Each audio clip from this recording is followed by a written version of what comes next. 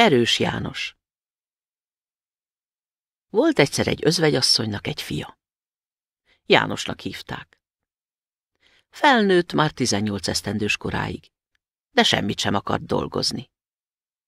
Az anyja nagyon búsult, hogy mi lesz az ő fiával, amikor még egy szikrát sem akart egyik helyről a másikra tenni, hanem csak beült a sudba, és őrölgette a hamut. Mikor húsz éves lett, a szomszédban házat építettek. Éppen a gerendákat akarták felhúzni a házra. Azt mondja János az anyjának. Mit kopácsolnak azok ott túl a szomszédban? Házat építenek, fiam, mindenki dolgozik, csak te nem akarsz. Elmegyek én is, azt mondja. Segítek. Elment hát. Éppen a gerendákkal kínlódtak. Húzták ide is, tova is, de nem bírták. Álljatok félre onnan, semmi háziak. Felrakom én, ne féljetek. Menj el, hamu őrlő, nem érsz meg egy hagymát. Bizony, ti nem érdemlitek meg az ételt. Avval fogja János a gerendákat, és felhányja a házra. Lett neki aztán becsülete, mindenhova elhívták napszámba. Abból, amit keresett, megéltek becsületesen ketten az anyjával. A falu bírája fösvény ember volt. Azt mondja Jánosnak. Szegődj hozzám, János, eltartalak esztendeig édesanyáddal együtt. De bért nem adok egyebet, hanem kettőn közül, amelyik hamarabb megharagszik, annak a hátából egy pár bocskorszíjat és bocskort vághat a másik. Nem bánom, bíró úr, legyen úgy. Volt egy nagy darab csalitos fűzese, és volt egy csomó juha a bírónak. No János, egyéb dolgod nincs, kihajtod a juhokat, és a cserjét mind kiszeded őszig. Kihajtja János első nap a juhokat. Nézi a tarisznyáját. Hát, nincs benne semmi étel. Ő bizony neki látott, két juhot megfogott, a legszebbeket. Megnyúzta, tüzet csinált, megsütötte és megette őket. No János, vágtál-e sokat? kérdi este a bíró. Igen, én? Kettőt, a legszebbeket. A bíró azt gondolta, a cserjét vágta ki, a legszebb bokrokat, kettőt.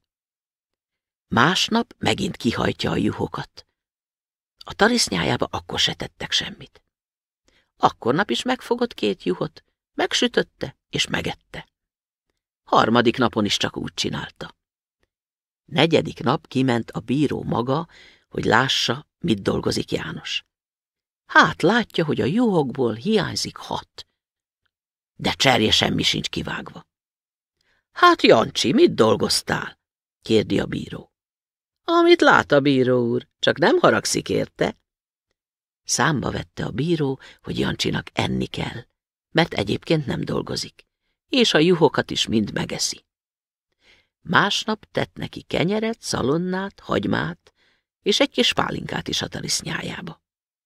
János nekifogott, és mind kitépte a cserjét, egy szikrát se hagyott. No, elfogyott a cserje. Másnap elmentek szántani a bíró úr és János. Délben, amikor az ökrök ettek, meg a bíró úr is, azt mondja János. Bíró úr, én egyet perdülnék hazáig. Nekem olyan szokásom van, hogy amikor szántok, perdülnöm is kell.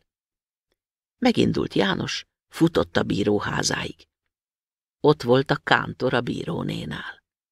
Ahogy meglátja Jánost, hogy jő messziről, azt mondja. Kántor úr, csak valamerre bújjék el, mert baj van. Elbújik a kántor be a kemence mögé. János bemegy, kérdi a bíróné. Mi baj van, János?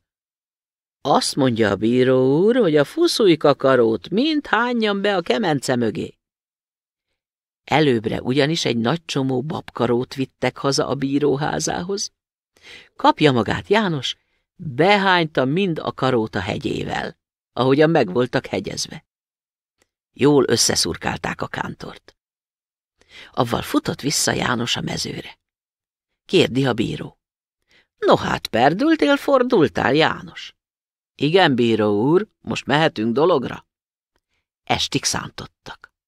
Este hazamentek. Panaszkodik a bíróné, hogy ni János mit csinált, mikor otthon volt délben. A fuszújkakarót behányta mind a kemence mögé. De azt nem mondta meg, hogy a kántor is ott volt. Másnap megint elmentek szántani. Délben János megint perdült, fordult, akkor is elment haza. A kántor megint ott volt. Meglátja a bíróné Jánost, mondja a kántornak.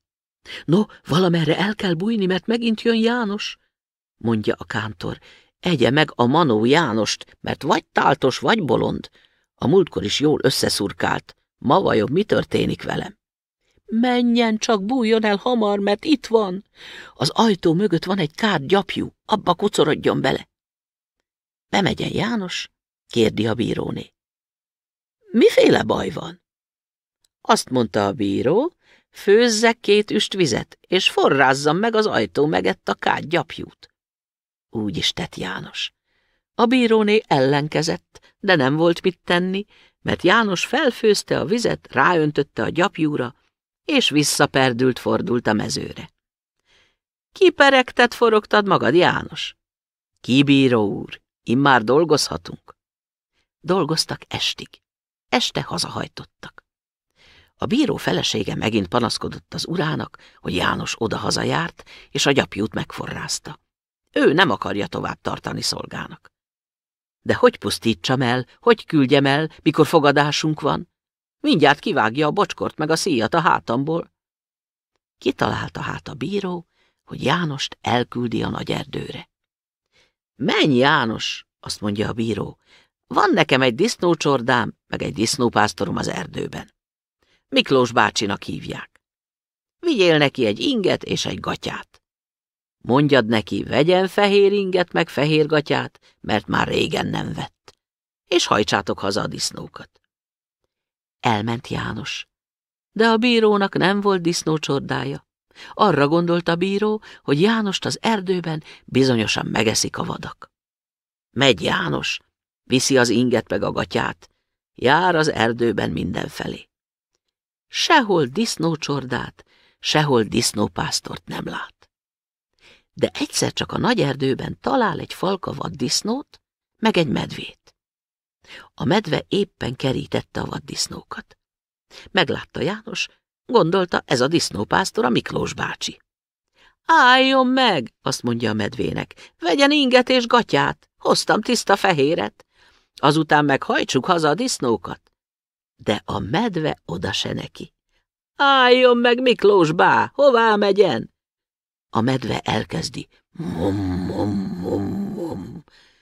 Ne majd, ne majd, hanem most rögtön vegye fel ezt az inget, azt parancsolta a bíró. A medve csak cammogott ides tova. Megfogta János a medvét.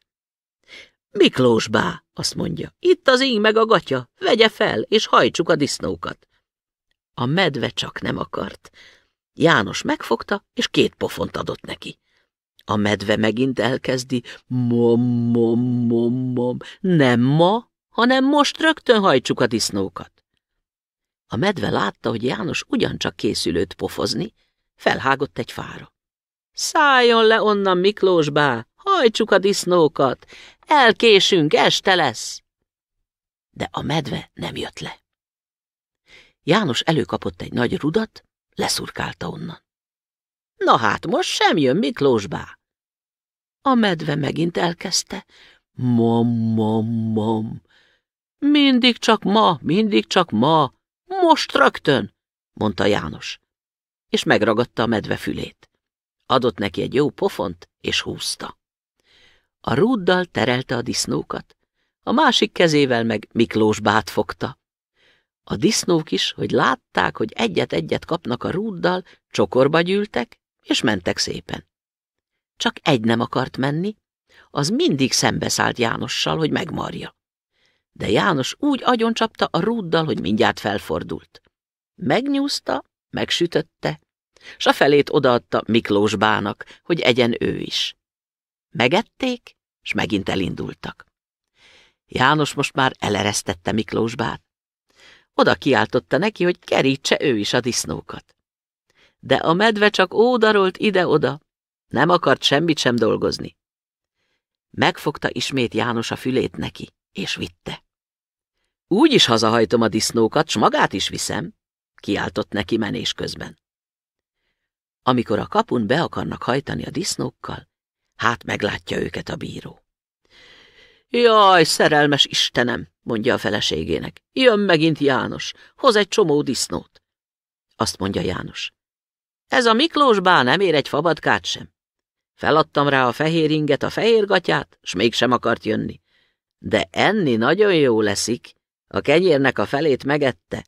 Ennek ne adjon semmi bért, nem érdemli meg. Jól van, János fiam, nem adok egy krajcát sem, nem életre való ember. De hová rekesszük a disznókat? A csűrbe rekezd be, Miklós bát meg a disznóolba. Úgy is tett János. Berekeztette a disznókat a csűrbe. Miklós bát pedig a disznóolba. De másnap azt mondja a bíró Jánosnak. Mit adjunk ennek a sok disznónak enni? Megeszik a fejemet, ha nem üzzük vissza őket az erdőbe. Vissza kell őket űzni, oda, ahonnan jöttek. János azt mondja, disznópásztor én nem leszek. A bíró úrnak, ha tetszik, üzze ki maga. Ha nem, Miklós bával üzesse ki. Csak verjen rá, ha nem akar menni. De a bíró egyikhez sem akart közelíteni, se a disznók közé, se Miklós bához. Azt mondja, János fiam, vágjuk le őket, de mind. Kezdik vágni. Vágják két nap a disznókat, s őket szalmával. Harmadik nap elfogyott a szalma. Nem volt mivel pörkölni. János fiam, azt mondja a bíró, eredj, menj el a szomszédba, kér kölcsön szalmát. Elmegy János a szomszédba, s kér kölcsön szalmát. Azt mondja a szomszéd. Hátul a csűr mellett van onnét vigyél, János, amennyit gondolsz. János felveszi az egész bogja szalmát, és viszi az udvaron át a kertből. De a csűr szegletében megakadt a szalmabogja. János nem tudta tovább vinni. Kérdi a szomszédtól, hogy szabad-e egy cseppet arrébb mozdítani. Szabad, János, szabad! Azt gondolta a szomszéd, hogy a szalmát szabad-e arrébb vinni. János megfogta a csűrt, félretaszította, úgy vitte tovább a szalmát. Megpörkölték a többi disznót is. Most már azon gondolkoztak, hová tegyék azt a sok húst, azt a rengeteg szalonnát. A bíró azonban ezen közben is azon törte a fejét, hogy Jánost hogy is pusztítsa el. Volt egy nagy kút az udvaron, de víz nem volt benne régóta. A bíró azt csütötte ki, hogy rakják be a húst a kútba. Beállította a kútba Jánost, hogy az rendezze el a húst de egyszerre csak a kút szájára egy nagy malomkövet tétetett a bíró. Azért, hogy János ne tudjon kijönni. János látja, hogy nem adnak le több berakni való húst. Megveti két lábát a kút két oldalán, s feljő a kút szájához. Hát látja, hogy egy nagy malomkő zárja el a kút száját. De ő bizony nem áll meg, neki megy, s a fejét a malomkő lyukába dugja. Kiáll a kútból a malomkővel a fején, megy a bíró elé, s jó napot köszön neki. Adjon Isten jó napot, bíró úr! Ilyen kalapja bíró uramnak soha se volt, de kérdem én, húst miért nem adnak többet? Mondja a bíró, a többit eladtam, János. Épp akkor jön egy híradó, hogy kell vagy húsz-harminc ember a faluból katonának. Nagy viaskodás van. Az országot el akarják foglalni mások. Megörül a bíró, hogy Jánost most csatába, háborúba küldheti. Mondja is tüstént neki. János fiam, menni kell a háborúba. Hát, bíró úr, mit kell ott csinálni? Egyebet nem János, csak verekedni. Jó, bíró úr, elmegyek, azt mondja. Bemért Jánosnak a tarisznyájába. Tett neki puliszkát, lisztet, disznóhúst, még egy nagy serpenyőt is. János meg elindult szépen. Odaért a háborúba, azt mondja. Előbb főzök egy kis puliszkát, majd azután kezdek verekedni. Eszem jól előbb.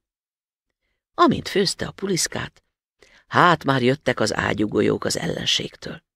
Ne dobáljatok engem, mert bizony pórul jártok. De bizony csak jöttek a golyók. ki mellette, ki az üst felett repült el. Na bizony, csak még feldöntitek a puliszka főző üstömet, de lesz számbajotok, csak helytelenkedjetek.